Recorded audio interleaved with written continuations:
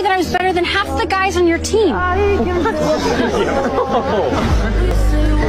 never said that. What are you talking about? Why are you lying? Well, end of discussion.